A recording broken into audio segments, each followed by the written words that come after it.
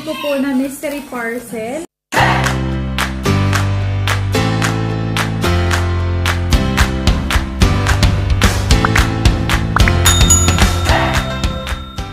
Hello guys! Welcome back to my YouTube channel. For today's video, sasamahan niyo po uli akong buksan yung bago kong binili sa Shopee. So ito, medyo nakikiuso ako kasi ito ay usong-usong-usong-uso ngayon. Napaka-trending ngayon itong mystery parcel. Okay? So, kung napanood nyo sa Jessica Soho, yun, di ba? Tinelevise na sila. So, parang para sa akin, gusto ko din itry kung ano yung mystery parcel.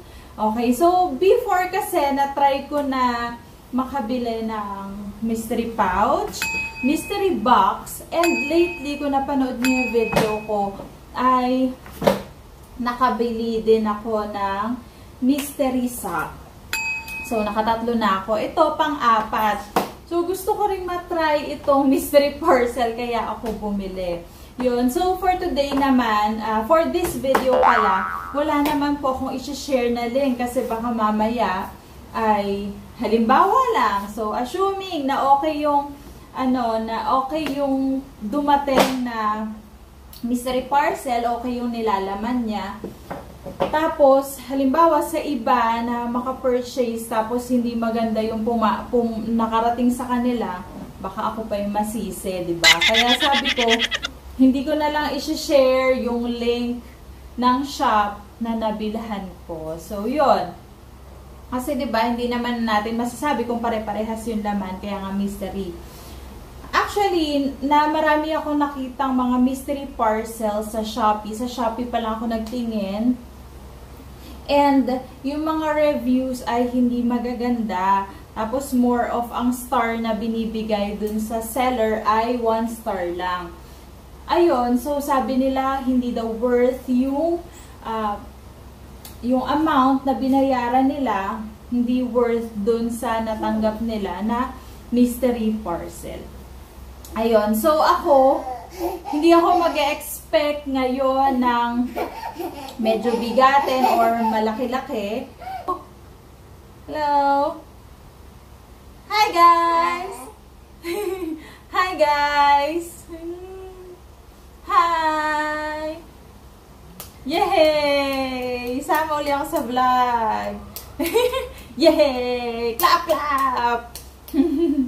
Ayan, so hindi ako mag-expect ngayon na makakakuha ako or uh, makaka-receive tayo ng maganda. Though ang amount ng mystery parcel each ay 190. Yay!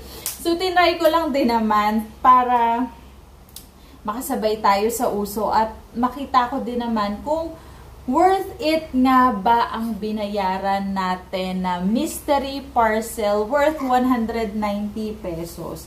So, para sa akin kasi, hindi natin ma pwedeng masabi na hindi worth yung price. 'di ba? So kasi mystery nga hindi natin alam kung ano yung nilalaman. So we have to accept kasi Hindi natin alam ang nilalaman ng mystery parcel. Unless na makikita natin niretaso na siya or sabihin natin nirepack. May kita mo naman eh, dapat hindi pa siya naka-open. Hindi kasama yung nasa labas na, bill, uh, na waybill ha. Yung nasa labas po na waybill ay ang nakalagay talaga doon na address ay sa atin syempre at saka dun sa um, dun sa seller. Dapat, kapag bukas natin ng uh, first na pouch, ay meron pa uling isa na pouch na naka-enclosed pa. Okay, so tapos dapat may nakalagay pa doon na way bill. Doon natin makikita talaga na sinasabi nga nila 'di ba na galing kasi yun or hindi na ibinalik sa mismong seller, either international or local sellers, ganon, na hindi na nila po kinuha or hindi na nila pina-return sa kanila. So, ayun, kung gusto nyo rin pong malaman, tutok lang po sa ating video. Just keep on watching. Ayan, so guys, ito na yung binili ko po na mystery parcel. Ayan. Amount niya 228 kasi 190 plus the shipping fee, okay? Medyo mabigat siya and bulky. Nakikita niyo naman po, di ba? Ayan. Kaya, na-excite ako kung ano yung laman talaga nito actually. Kasi nga, mabigat, mabigat siya. And kung, meron ako ditong kiluhan, ito. Ewan ko kung kaya ha. Pero titingnan natin. Parang lumabas na mahigit siya na 1 kilo. Wait lang, picturean ko.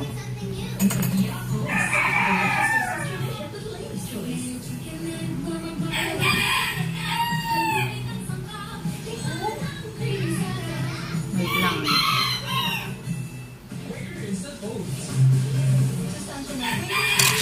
One, sabihin natin 1 kilo, 1 kilo, ganon. Okay, so, startan na natin buksan yung mystery parcel. Para malaman na natin kung ano yung nilalagay. So, nakikita nyo po dito, um, pangalan ko naman yun nandito sa baba and then yung seller. Yun nga yung sinabi ko kanina, titingnan natin kung naretaso siya kung pagbukas natin itong mismong parcel, ay mismong pouch, ay pinalitan. Okay? So, yan, naka-scotch tape siya, ganyan-ganyan. Sana natin. Wala pa yung op, ano ah. So, walang daya. Okay, so buksan na natin guys. Excited, Matt! Sana excited din kayo. ako excited talaga ako. Okay. Yan. Tada!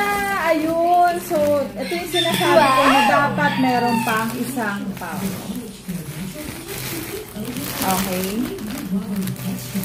Ayan, yung isang pouch. Meron pa siyang isang pouch na. Pero wala na siyang um, waybill. Ayan. So, open pa uli natin. Okay. Tingnan ko pa uli yung laman.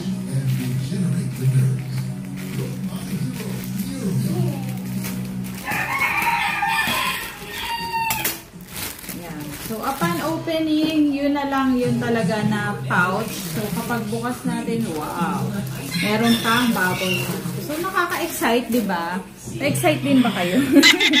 ako na-excite ako. Siyempre, akin to, di ba? okay, so, ayan. Naka-bubble wrap pa siya, ha? Titingnan natin. So, sana, sa tingin nyo, sana maganda or Huwag na lang maganda. Sana ay mapapakinabangan pa natin. Sana ay magagamit pa natin siya at hindi siya patapon. Okay. Buksan natin.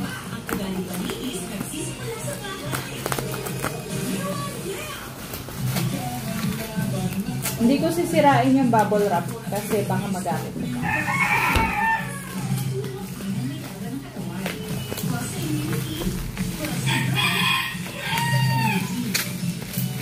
Actually, nung una, gusto kong bumili ng ano, ng... Meron ako nakita sa marketplace, pero bulk order. Kaso, 1, parang 1,000 plus. Kasi, ano, hindi daw niya nga lang masabi kung ilan yun nilalaman ng isang sako. Basta ibibigay sa kanila isang sako na yun. Tapos, uh, babayaran ng ganitong halaga. Pero, na, na-bother lang ako nung sinabi nila na payment first. Since may mga nababasa ako, may nang i-scam na rin pala dito sa mystery parcel. Kasi nga, uh, hindi, hindi sila pwede na ang COD, yung mga nasa marketplace, karamihan. Gusto nila payment first. Kaya yun, may nabasa ko na scam siya, nagbayad na siya nung kung man yung napag-usapan nila plus the shipping fee. Tapos, hindi dumating yung product sa kanya 3 days. Okay, so ito na po siya. Nabubuksan ko na. Nabili ko to ng 190 pesos ha, yung mystery parcel. Though marami naman kayo makikita at mapapa, uh, maka, mapapagpilian na mga uh, other mystery parcels Tapos, different shops, marami na rin po. Pero ito kasi yung napili ko, kakaunti pa yung reviews niya. Kasi ayoko na maraming reviews. Yung sa iba, ang daming reviews pero pare-parehas yung laman. Tapos, puro bokya, ba diba? Ito kasi, parang, isa pa lang bumili. Tapos, ang review niya pa is one star. Though, isipin mo kasi mystery siya, hindi mo talaga alam yung laman at si seller din hindi rin naman niya alam kung ano yung laman noon. Kaya mahirap din magbigay ng mababang ratings kasi hindi hindi naman din nila alam yung laman, pwera nga lang kung niretaso. Pero normally, kung ano yung nandun galing sa pinagkukunan nila, nilalagay daw nila yun sa sako. Tapos from sako kasi, ayun, dinidistribute na sa mga, dinidistribute na sa mga resellers. Kaya, mahirap din mag-expect kasi nga, uh, mystery parcel na kung tawagin. Or, yun nga, yung bansag nila. Okay, yan ah. Okay, so open ang box. Wow! Dito sa box may nakalagay na 6 pieces glass teacup. Ayun, glassware. Pero syempre, malay mo box lang to, 'di ba? Bubuksan pa uli natin yung box kasi para malaman natin kung ano yung laman talaga, 'di ba? Malay mo box yun nasa ano ay box. Glassware yung nakalagay dito pero iba yung laman. Open na natin. Oh, okay. Glassware siya talaga. Ang ganda. Gusto niyo makita? Syempre, oh. Tada! At saka ba bago pa siya, di ba? Oh. Babasagin siya talaga, tayo mo. Ah. Ba? Ang ganda. So, may bago na kaming baso. Ang ganda. Okay na rin, di ba? Worth the price na rin. Para sa akin kasi, kung ano man yung matanggap mo, kailangan mo siyang tanggapin kasi tinanggap mo nga na bumili ka ng mystery parcel, 'di ba? Alam mo, alamin mo kung ano yung description pag sinabi na mystery. Hindi rin natin alam. So hindi rin alam ng seller kung ano yung nandun sa loob na 'yon. Ayun. So ako ay naka-receive na 6 pieces 1 Okay, 2 3 four, five, six, yun. O, diba? Okay na din, di ba? Nakakatuwa na rin makareceive ng mga ganitong klaseng mga items. Di ba? Parang hindi mo nga ina-expect na bibili, bibili ka ng glass pero dumating sa'yo. Di ba nakakatuwa? Ayun, so, ayan, wala nang laman nakakatuwa siya. So, nag-enjoy din naman ako, di ba, kahit hindi masyadong halata sa face ko. Pero, nakakatuwa kasi as a mother, as a mom she, di ba, uh, okay sa atin, mas okay na sa atin makabili ng mga bagay na para sa pamilya natin, para sa bagay natin. Minsan nga, kahit headband, di ba, hindi na tayo nakakabili para sa sarili natin. Pero para sa pamilya natin, ibibigay natin lahat. Kaya, happy-happy naman ako sa natanggap. So, kayo din, kung gusto nyo pong matry bumili ng mga mystery parcels, eh, nagkamot pa ako. Meron po sa mga on online stores, Shopee, Lazada, or Marketplace, and buy at your own risk. Kaya may nakalagay doon, panalo, or bokya, have, or wale. Yun. Kailangan natin i-accept po. Yun, yun lamang po for today's video. Salamat po sa manonood, and See you on our future videos. Bye!